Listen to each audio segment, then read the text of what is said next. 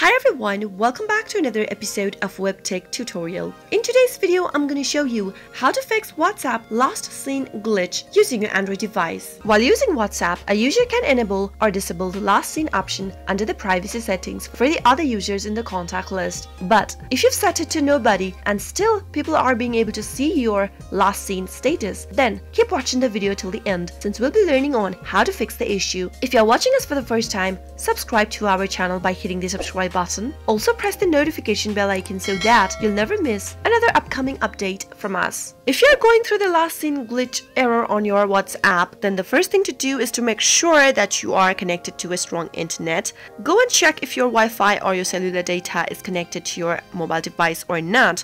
And once it is, go back to WhatsApp and see if that fixed the error. If that still does not fix it, next thing to do is to go to your Play Store and in the search box that appears at the top, search for WhatsApp. Once you make your search, check if there is any updates available for your WhatsApp Messenger. If there is, you'll be able to see an update button. If not, you should only see the open button, which means your application is up to date. If it is not, simply update to the latest version of WhatsApp and go check if that fixed your issue. Next thing to do is to go to your settings if nothing else works out. From the settings menu, tap on apps. Search for WhatsApp from the list of the apps that are displayed on your mobile device, give it a tap and you'll end up in the app info page. Go to storage from the page and tap on clear cache at the bottom right corner. Similarly, tap clear data at the bottom left and in the pop-up that appears, tap on OK. Now go back to your WhatsApp application, log into your account and see if that fixed your issue. Those were some of the fixes that you could try out whenever you are going through the